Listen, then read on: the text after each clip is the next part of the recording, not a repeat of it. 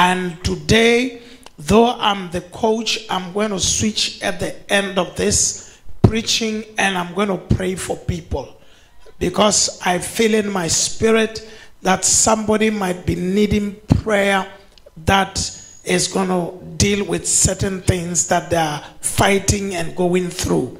So I'm saying this as an early announcement so that you know that we're going to fight that thing. We're going to kill that thing by the grace of God. Uh, it was not a very easy night, uh, very, very, very, very demonic uh, night, and I know that God is probably pushing me to minister to people, and I will do that. Amen. With those few words, I want to welcome. I was telling him, and the wife is like they just stepped out of British Airways, like it's flying direct to Botswana, like direct from my heart say like this. I want to welcome Mr. Motshoganetsi to come and encourage us in giving. Let's just welcome with, with him with excitement as he comes to come and encourage us in Jesus' name. Hallelujah. Beautiful.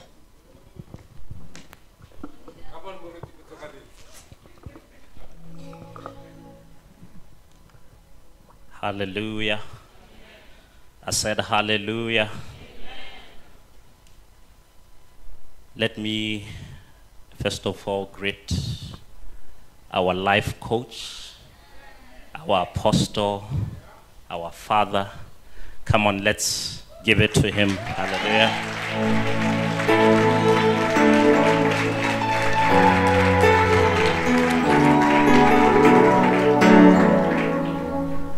We love you, sir. We appreciate you so much. And in the same vein, let me, in a very special way, greet our mother. It's so good to um, have a mother who is passionate about the things of God. Every time I have an opportunity to speak to this lady, she steers my spirit towards the things of God. She's always saying, what is it that we can do? This and that. And it really pushes me. And he's our, she's our mother. Hallelujah. Um, give it to her. Hallelujah.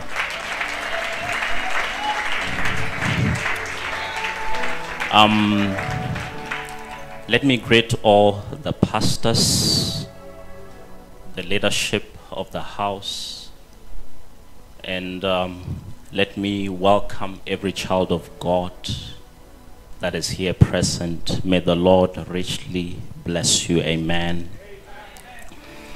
I'm here to challenge and to encourage us to give to the Lord. And I want us to go to the book of First Chronicles, chapter number 29. We will read from verse number 1 to 3. My emphasis will be on verse number 3. So we'll read from verse 1 so that we, we get it in context. Hallelujah. First Chronicles chapter number 29. We are reading from verse number 1 to 3. Please give it to us in the message translation. Media. Somebody pray for media. Hallelujah. Look at your neighbor and say, Is your heart in this thing? Is your heart in this thing? Okay, it looks like they are struggling. They're here. And then David the king addressed the congregation. My son Solomon was singled out and chosen by God to do this. But he is young and untested, and the work is huge. This is not just a place. I want you to notice what David says right here. He says, talking about the house of God. He says, This is not just a place for people to meet each other, but a house for God to meet us. I have done my best, this is David speaking, to get everything together for the building of this house for my God. All the materials necessary gold, silver, bronze, iron, lumber, precious, and very colored stones, and building stones, vast stockpiles. Verse number three. Furthermore, because my heart is in this, in addition to and beyond what I have gathered, I am turning over my personal fortune of gold and silver for making this the place of worship for my God. L- Look at your neighbor and say, Is your heart in this thing?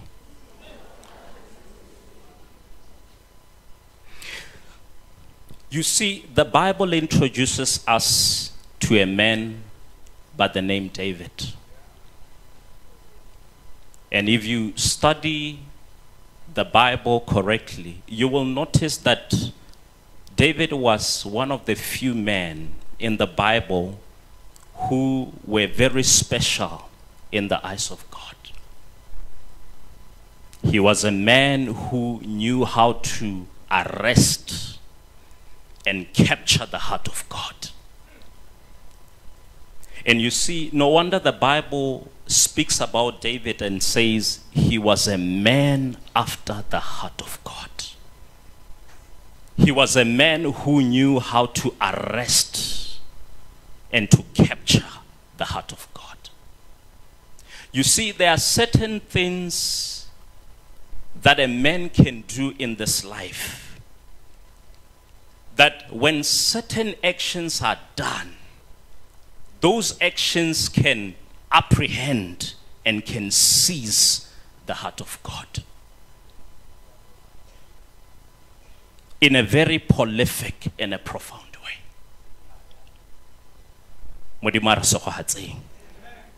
Certain actions that when mortal men begin to do, it gives them eternal mileage before heaven.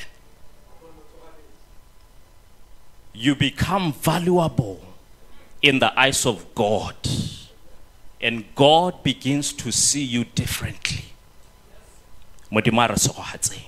And you see, David was such a man. He had a habit of doing certain things that captured and left a mark in the heart of God. And you see, the scripture that we have read gives us a, an insight into the posture, into the makeup, and the calibration of this man's heart. He had a certain level of understanding of what the house of God is. And you see, this statement really affected me. Um, go to verse number two where we were reading there. I want you to, verse number one, sorry.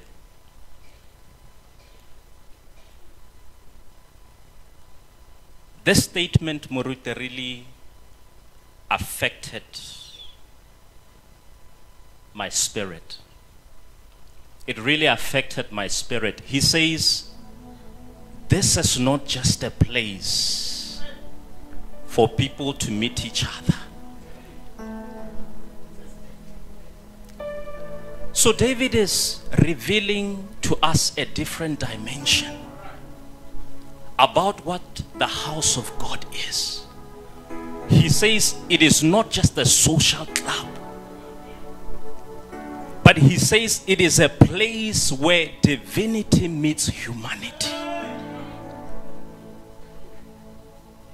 And you see, when I was meditating, the Spirit of God began to whisper to my heart. He says, You see, when a man partners with me to build my house, that man becomes an instrument, he becomes a channel, he becomes a conduit by which he, he makes it possible for me to collide with men.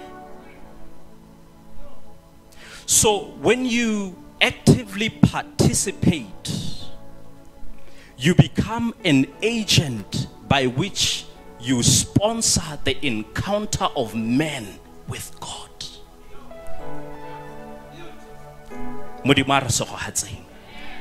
Verse number three. And he says, Furthermore, because my heart is in this.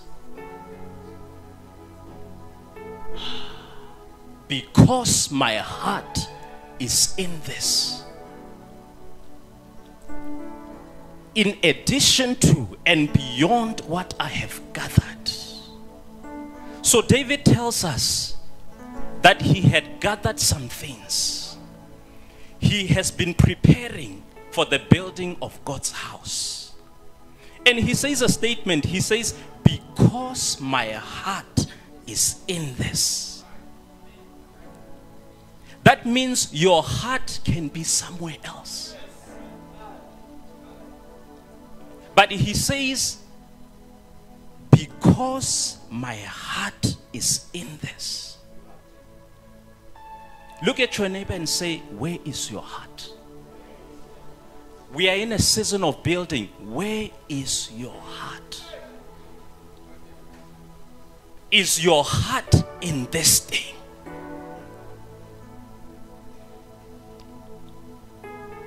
So he says, in addition to and beyond what I have gathered. So that means that there was a certain time that he began to prepare, he began to gather. And those things were already prepared, they were there. But listen to this key. He says, Because my heart is in this, I am now turning into my private treasures.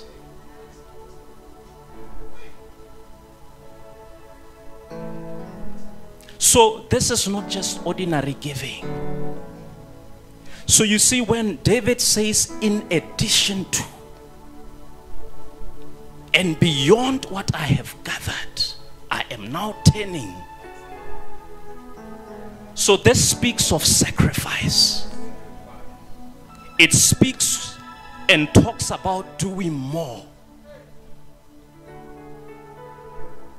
It talks about moving from a place of comfort.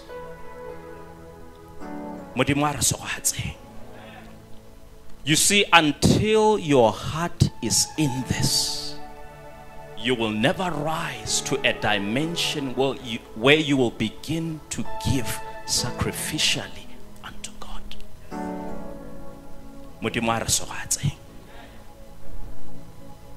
Because my heart is in this.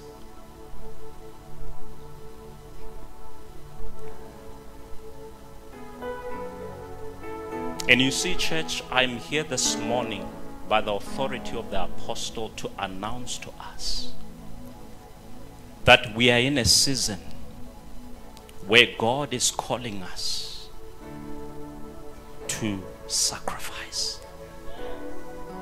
He's calling us to do more than the ordinary that we've been doing. He's calling us to move from a place of comfort. He's calling us to a place where our hearts will be in this thing.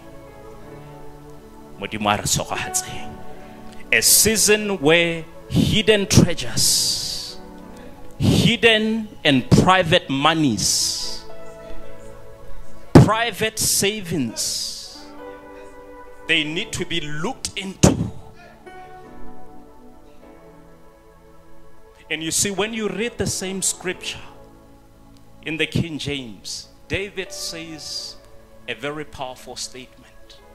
He says, Because I have set my affection in the house of my God, I have given more than my private treasures because I have set my affection. So God is calling us for our hearts to be in this thing. Amen. May the Lord bless us. So, I want you to prepare your offering.